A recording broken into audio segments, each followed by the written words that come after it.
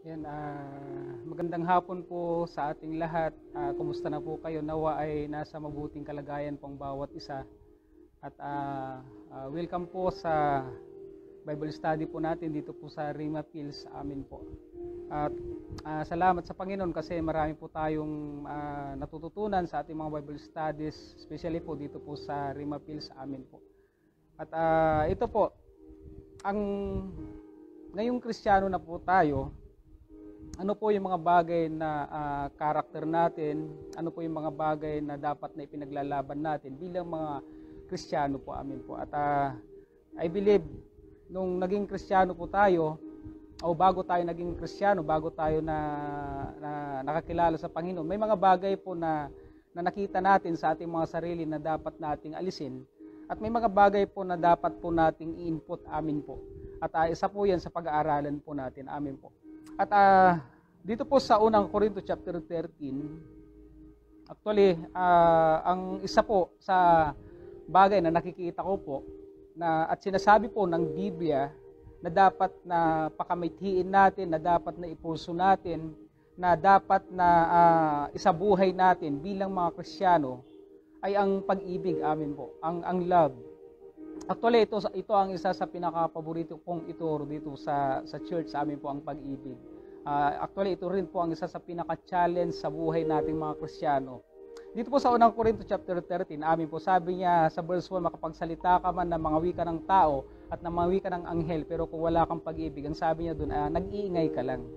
And then sa verse 2, sabi niya, ah, makapagpahayag kang salita ng Diyos, o malaman mo yung mga ah, hiwaga, maintindihan mo yung mga malalalim na hiwaga, at ah, magkaroon ka man ng malalaking pananampalataya, ano pat ah, mai, mapatalon mo yung bundok sa dagat. Pero kung wala kang pag-ibig, ang sabi niya, ah, wala itong kabuluhan. Amin po. And then, sa verse 3, makikita po natin na kahit ipamigay mo pa yung kayamanan mo at yung ialay mo ang sarili mo, ano po, sa, sa ah, ihandog mo ito. Pero kung wala kang pag-ibig, ang sabi niya, ah, nagsasayang ka lang, wala itong maidudulot sa'yo. Dito po sa verse 4 hanggang verse 7, sa unang Korinto chapter 13, itutuloy po natin. Sabi niya, ah, dinescribe niya ang pag-ibig.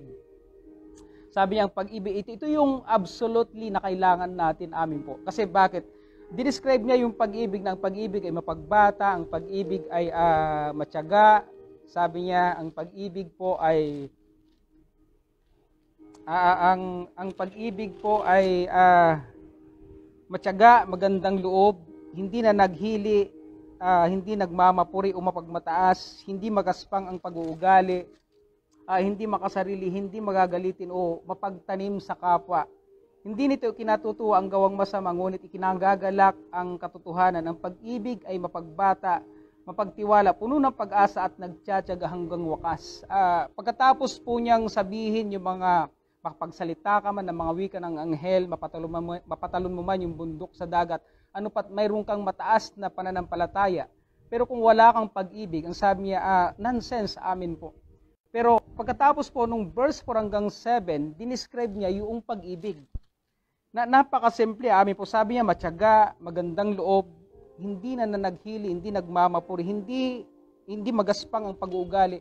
Daig pa nito, kung, kung mayroon kang karakter ng pag-ibig na ito, amin po, daig niya yung mapatalong mo man yung bundok sa dagat, kahit makapagsalita ka ng mga wika ng anghel, pero kung wala kang pag-ibig, ito yung, yung karakter ng pag-ibig na nakatsagaan, kagandahang loob, ay daig niya yung, may, yung taong mayroon pong kakayahang makapagpahayag ng salita ng Diyos, pero wala naman pong pag-ibig. Oo, daig niya kahit yung ibigay mo man yung kayamanan mo, ibigay, ialay mo man yung sarili mo, pero kung wala kang karakter na pag-ibig, sabi niya, daig niya yun, eh, amin po. And sabi niya, dito po sa verse 11, tatalon po ako, sa verse 11, sabi niya, nung ako'y bata pa, nagsasalita ako, nag-iisip ako at nangangatwiran tulad ng bata. Bakit po kasi? Eh, wala pa siyang pag-ibig eh. Anong ibig sabihin po nito? Ang, ang taong may pag-ibig ay may kakayahang alisin yung mga pangit na karakter tulad po ng asal bata. Alam niyo po, ang ibig sabihin ng asal bata, uh, immature. Amen. Uh, immature. Sabi niya, uh, nangangatwiran siya tulad ng isang bata. Ngayong ako'y mayroon ng sapat na gulang, ibig sabihin mayroon na siyang love, naiintindihan niya kasi si Apostol Pablo po ang nagsasalita po rito. Din-discuss niya ang pag-ibig at noong nata- naintindihan niya na ang meaning ng pag-ibig, daig ng may mga taong may gift na, na matataas ang faith, ano po, kahit ihandog mo pa yung sarili mo, sabi niya kahit ibigay mo pa lahat ng kayamanan mo, dao, daig ng taong may pag-ibig, daig ng taong may sapat na pag-ibig, yung ganun na bagay. Amin po. Ngayon sabi niya, pati yung pag-ibig ay may kakayahang alisin yung asal bata, yung immature na pag-uugali. Kung ipinapractice natin ang pag-ibig, amin po, ayon sa verse 4 hanggang verse 7, may kakayahang itong alisin yung mga pangit sa buhay po natin. Kaya niyang uh, tanggalin yung mga asal bata na yun. Ngayon sabi niya sa verse uh, 13, talon po ako sa verse 13, sabi ang tatlong ito ay nananatili ang pananampalataya, pag-asa at pag-ibig. Ngunit ang pinakadakila sa mga ito ay ang pag-ibig. Okay po, sa verse 14, ay sa 1 Corinthians chapter 14, dito po sa chapter 14, verse 1, sabi niya, ang pag-ibig kung gayon ang inyong pakamithiin. Nakikita po natin ano po, uh, maliban sa ang pag-ibig na sinabi ni Jesus sa Matthew chapter 21 verse 37 hanggang 38 na ang pinakamahalagang utos ay ibigin mo ang Diyos ng buong puso, ng buong uh, kaluluwa at ng buong pag-iisip. Sinabi niya, ang, ang pag-ibig ay na-attach sa pinakamahalagang utos. Ang ibigin mo ang Diyos ng buong puso, ng buong kaluluwa at ng buong pag-iisip. Ang pangalawa, ibigin mo ang Diyos, ay uh, ibigin mo ang kapwa mo tulad ng iyong sarili. Ang pag-ibig ay na-attach sa pinakamahalagang utos ng Diyos. At dito po sa unang Korinto chapter 14, ang pag-ibig, sabi niya, ang inyong pakamithiin. Ang pag-ibig, ang siyang inyong pakamithiin. Sa chapter 14 po kasi, nakalagay po dyan yung mga gift of the Holy Spirit. Ang mga regalo po ng Espiritu ng Diyos, ang mga regalo po ng Holy Spirit, matapos i-discuss ni Apostol Pablo ang unang Korinto, ang, love, ang sinabi niya, pakamithiin ninyo ang gift of, ang, ang pag-ibig. And then sabi niya, nasain ninyo ang kaloob na spirit, mga spiritual. Ibig sabihin po nito, mas mahalaga na, na ang pag-ibig po, kikilos po ang spiritual na regalo ng Diyos pag mayroon pong pag-ibig sa bawat isa amin po. So kaya sabi pakamithiin mo, ninyo ang pag-ibig. Ito ang pinaka-push ninyo. Ito yung pinaka-desire mo. Ito yung pinaka-mithiin mo. Ito yung pinaka uh, mo ng lakas mo. Ito ito yung pinaka dapat na nasain mo. Amen po. And then dito po sa ano po sa sa uh, sa Romans chapter 8 verse 37 hanggang 38. Kung bubuksan niyo po 'yan, amin po. So una, ang pag-ibig po, uh, na-attach ito sa pinakamahalagang utos ng Diyos na ibigin mo ang Diyos ng buong puso, ng buong lakas, ng buong, uh, buong kaluluwa at ng buong isip. And then sabi niya sa pangalawa sa unang Korinto chapter 14, ito ang dapat mong pakamithiin. Ang pag-ibig ang dapat mong pakamithiin. Makikita din po natin na, na ang pag-ibig na ito ay may kakayahang alisin yung mga pangit sa buhay natin. Ito yung kakayahan, ito, ito yung pag-ibig na may kakayahang uh, alisin yung mga asal bata sa buhay kristyano. Amin po. So, i-input natin itong pag-ibig na ito. Amin po. Dito po sa Romans chapter 8 verse 37, sabi niya, hindi. Ang lahat ng ito'y kayang-kaya nating pagtagumpayan sa magitan niya na nagmamahal sa atin. Sapagkat natitiyak kong ang kamatayan, ang buhay, ang mga anghel, ang mga pamunuan, ang mga bagay na kasalukuyan, ang mga bagay na darating, ang mga kapangyarihan, ang kataasan, ang kalaliman o alinmang nilalang ay hindi makakapaghiwalay sa, pag, sa atin sa pag-ibig ng Diyos. Pag-ibig na ipinadama niya sa atin sa pamagitan ni Kristo Jesus na ating Panginoon.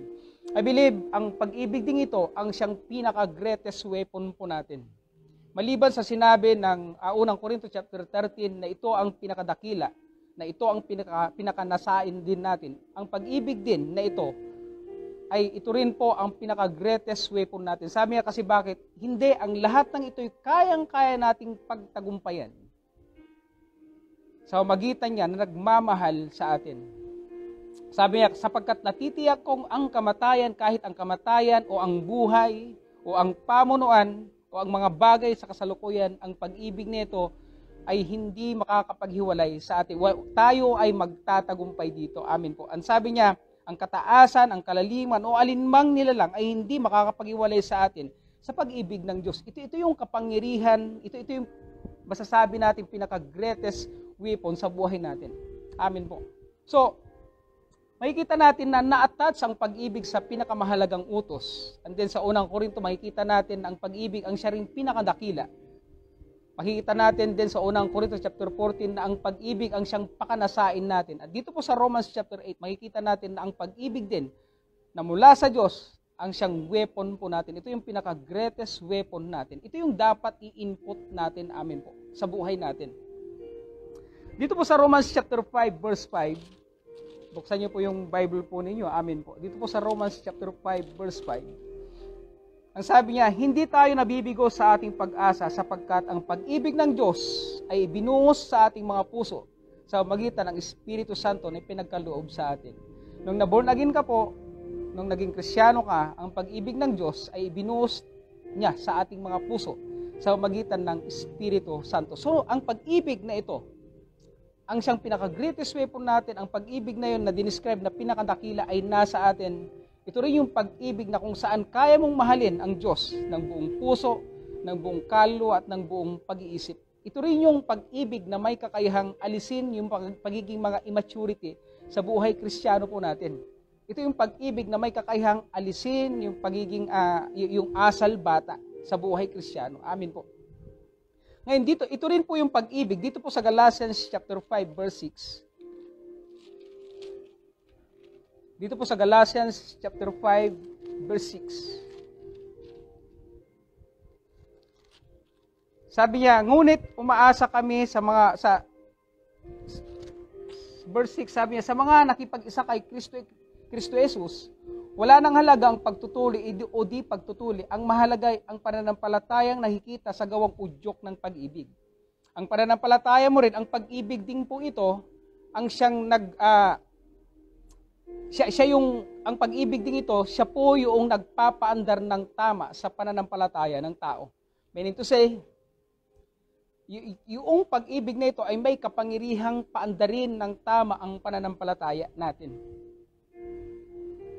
Maliban sa ito ang pinakadakila, maliban sa ito ay na-attach sa, sa pinakamahalagang utos, yung pag-ibig.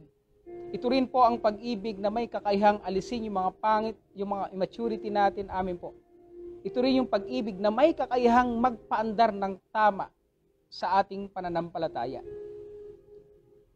Dito po sa ano po sa sa uh, sa Matthew chapter 5 nakalagay rito sabi niya uh, kung sinampal ka sa kaliwa, ibigay mo yung kanan. Ito, ito yung klase ng pag-ibig na may kakayahang pag sinampal ka sa kaliwa, kaya mong ibigay yung kaya mong ibigay yung, yung kabilang pisngi mo. Ito mo ito yung klase ng pag-ibig na may kakayahang ah, pag binu, pinabuhat sa iyo yung cross ng isang kilometro, kaya mo pang buhatin ito ng dalawa. Ito rin po yung pag-ibig na may kakayahang kung kinuha yung isang balabal mo ay kaya mo pang ibigay yung isa. Ito yung klase ng pag-ibig na may kakayahang ibigin mo yung kaaway mo. Amin po. Ito yung kakayahang sinabi ni Jesus sa Matthew chapter 5 verse 43 hanggang 48 na na kaya mong mahalin maging yung kaaway mo.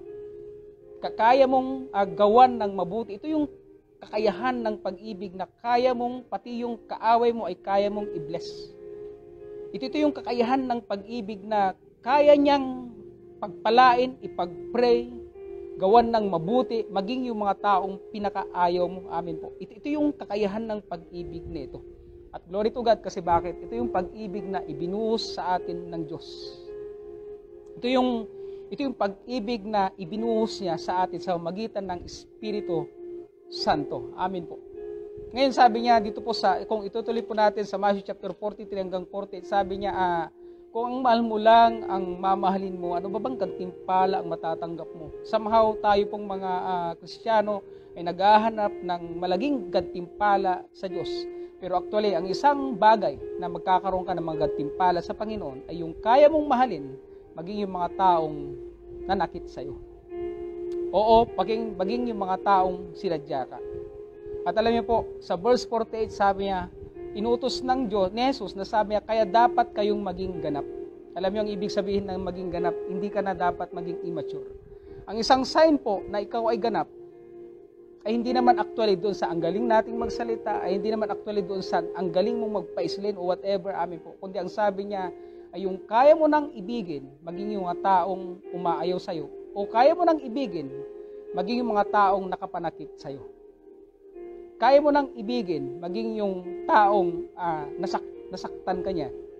Kaya mo na siyang mahalin, kaya mo na rin siyang ipag-pray, kaya mo na rin siyang uh, gawan ng mabuti, hindi ka gaganti, kundi kaya mo na siyang mahalin. At ang sabi niya, yan, kaya sabi niya, kaya dapat kayo maging ganap tulad ng ama, ama na, nasa, na, na isang ganap. Amin po, ito ay utos ng Diyos. Ibig sabihin po nito, kung kaya mo ng isa, isa sa makikita natin na palatandaan na ikaw ay isang matured na na kristyano, ay mayroon kang pag-ibig na may kakayahang inutos sa Jesus doon sa Matthew chapter 5 verse 43 hanggang 48. Sa Matthew chapter 5 verse 38 hanggang 42. Amin po. Na kaya mo nang mag, mag-extend pa doon. Kaya mo nang mag-expand, uh, kaya mo nang mag-expand pa doon. So ano pong ibig sabihin nito? Ang pag-ibig ay may taglay na lakas. Ang pag-ibig ay mayroon pong taglay na kakayahan at karunungan na alam niya kung ano ang dapat niyang gawin. At at sabi niya, may ang pag-ibig ay mayroon pong extra mile ang pag-ibig ay mayroon pong isang karakter po na na kakaibang lakas sa amin po. Kasi alam niyo po, may mga tao po na narinig ko po, kahit kristyano na, o kahit baguhan na, may mga kristyano po na sabi niya, ah, hindi ko kaya. Alam niyo kung ano ang sinasabi ang hindi niya kaya? Hindi niya kayang magpatawad. Alam niyo po, ah, wag mong sabihin kristyano ka, wag mong sabihin pastor ka pa, o wag mong sabihin worker ka, kung hindi mo kaya magpatawad, alam mo ang sabi ng Biblia, ikaw ay immature. Ikaw ay immature. Pero itong pag-ibig na to ay may kakayahang magbigay ng lakas na kahit yung taong pinakagalit, kahit pinaka nasaktan ka, ang sabi niya, uh, kaya mo nang mahalin. Amin po. Kaya mo na siyang uh, palampasin. At isa pa, kaya mo na siyang bigyan ng mga pagpapala. Kaya mo siyang ipagpray. Kaya mo na siyang i-bless.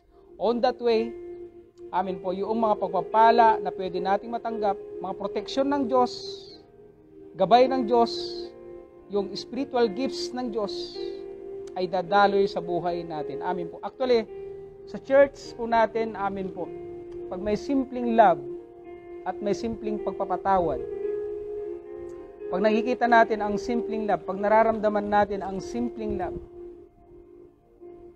nararam, nararanasan natin may atmosphere of love, alam niyo po, dadaloy po ang gift of the Holy Spirit. Dadaloy ang kagalingan, ang mga regalo, yung mga gantimpala na gusto natin, ay hindi lang naman po yung pagdating sa pera, amin po.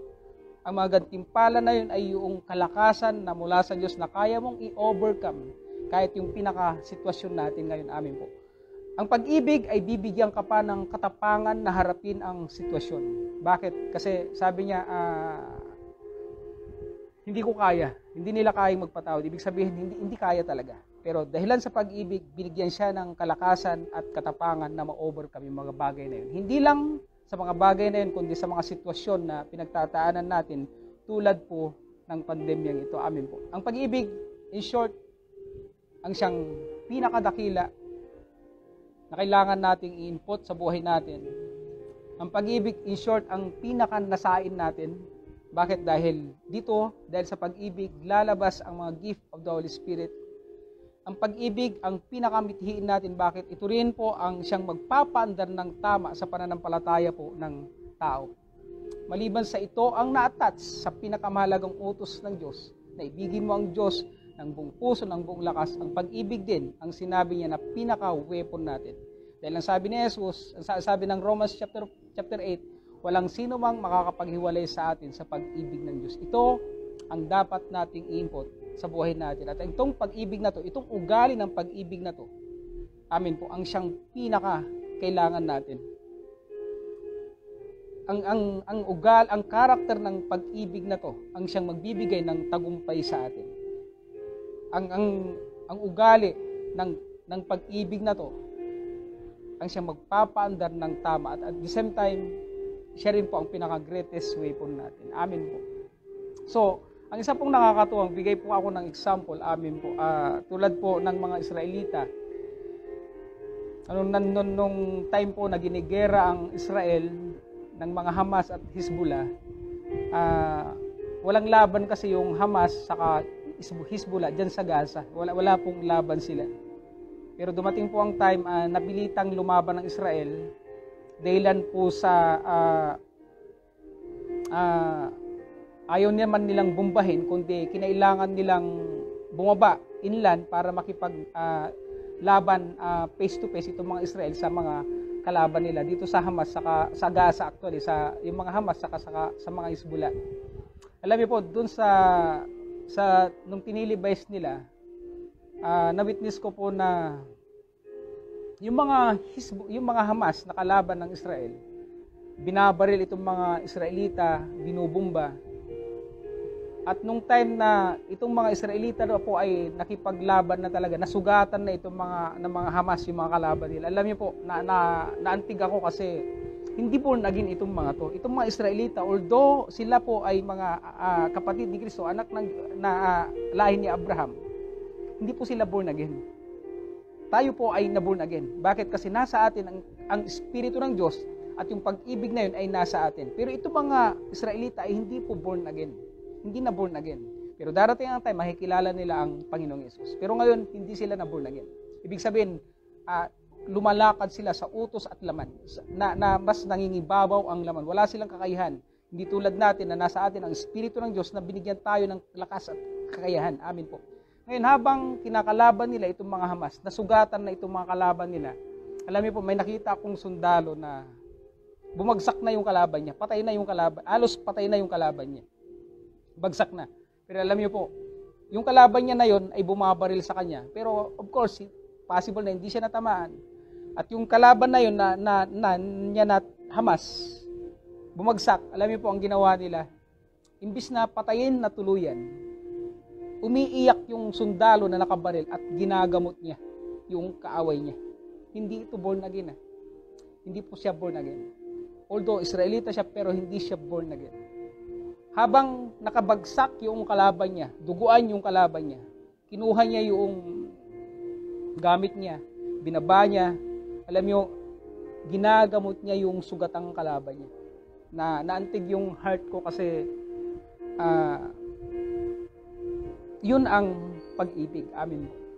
Bagsak na siya.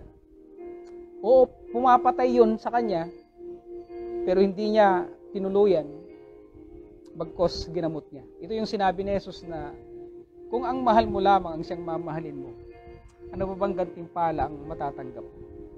Ang sabi niya, ibigin mo ang kaaway mo, ipag-pray mo, gawan mo ng mabuti. Huwag mo nang gawan ng masama. Huwag mo nang gantihan ng masama ang masama, gawan mo ng mabuti. Ito, amin po.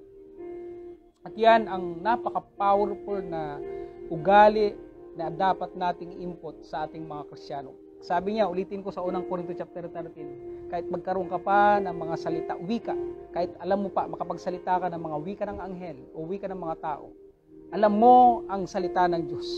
Pwedeng makapagpahayag ka pa at malaman mo yung mga malalalim na hiwaga. Ano pat mapatalon mo yung bundok sa dagat. Sabi niya, kahit i-offer mo pa yung buhay mo o yung ibigay mo pa yung kayamanan mo, lahat ng kayamanan mo at i-offer mo pa yung buhay mo. Ang sabi niya, kung wala kang pag-ibig, then nonsense ito amin po. And therefore, ang pag-ibig ang siyang pakanasain natin, ang pag-ibig ang siyang pakamithiin natin. Bakit? Dahil ito ang pinaka-greatest weapon na attach ito sa pinakamahalagang utos ng Diyos. Ito rin ang pinakadakila sa unang Korinto chapter 13. At ito rin ang sinabi niya, panak- pakanasain natin. At ito rin po ang siyang pinaka-greatest weapon natin, especially sa panahong ito. Amin po. Nais ba natin ng pagpapala? Napaka-simple pero napakahirap gawin. Amin po. Ito ang, actually, sabi ko po sa inyo, ito ang paborito ko na ituro pero napakahirap siyang gawin. Ito ang isa sa pinaka-challenge natin mga Kristiyano na paano mo ito isasagawa sa time na hindi mo na kaya. Amin po. Sa time na ang hirap na. Pero ito pa rin ang utos ng Diyos, hindi natin dapat alisin ito, bagkos pakanasain natin, pakamithiin natin, ito ang ipus natin, at habang ginagawa mo ito, makikita mo ang tagumpay sa buhay. Amin po. Makikita mo ang proteksyon ng Diyos. Makikita mo ang ah, pagpapala ng Diyos. Makikita mo ang pabor ng Diyos. Amin po. Ang Diyos ay pag-ibig. Kaya dapat din tayong umibig. Amin po. Sabi niya, ah, magpaganap, magpaging ganap kayo tulad ng aking amang, ang tulad ng ah, ama ko na isang ganap. Ibig sabihin nito, ang pagiging ganap ay umiiral na ang pag-ibig. Kaya mong mahalin, maging yung kaaway mo, maging yung mga taong umaayaw sa'yo, kaya mo na siyang ipag-pray.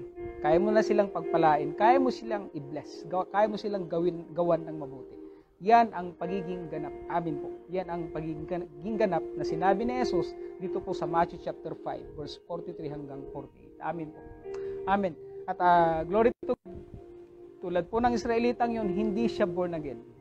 Pero tayo, born again tayo, nasa atin ang Espiritu ng Diyos. At yung pag-ibig na yon sa Romans chapter 5 verse 5 ay ibinuhos ng Diyos sa ating mga puso. Amen po. And I believe ah, dito ito ang pinaka nasain natin. Ito ang pinaka-ipus natin. Amen po. And then ang gift of the Holy Spirit ay dadaloy sa buhay natin. Amen po. Ang lahat po ng Kristiyano po ay umiibig. At ito ang pinaka dapat na nakikita natin sa atin bilang mga Kristiyano. Ito ang dapat na ugali na nakikita sa ating mga Kristiyano. Ito yung pinaka nasa top na nakikita sa buhay nating mga Kristiyano. Amin po. Ayan, I, I pray na ah, may natutunan po tayo at na-encourage po kayo. Amin po. Sige po, pray po tayo. Panginoon, maraming salamat sa pag-ibig na ibinuhos mo sa aming mga puso. Tulad ng sinabi mo sa, sa, sa, sa pamagitan ng Espiritu Santo. Salamat o Diyos sa pag-ibig na yun. Ngayon, Lord God, mayroon kaming lakas. Mayroon kaming kakayahan na labanan at magtagumpay. Dahil sabi mo, ang pag-ibig na yun, walang sino mang makakapaghiwalay. Kayamanan man, kataasan man, kapangyarihan man, maging ang kalaliman o anumang bagay sa mundong ito, ang pag-ibig na ibinuhos mo sa amin, ang Lord God, ito ang pinaka-greatest weapon po namin. Salamat po, Ama. Salamat po. Lord, i-input namin ito sa buhay namin. Ito ang ipupush namin sa buhay namin. Ang karakter na to ang siyang ipupush namin sa buhay namin. Salamat po. Matutunan naming lumakad everyday in our lives na punong-puno ng pag-ibig. Salamat po, Ama. Purihin ka, dakilain ka sa pangalan ng iyong anak na si Jesus. Amen and amen. So, God bless po. At ah, see you sa mga iba pa pong ah, magkita-kita po, po tayo sa muli pa pong mga Bible studies po dito po sa Rima Pills. Amin po. Pagpalain po kayo ng Panginoon.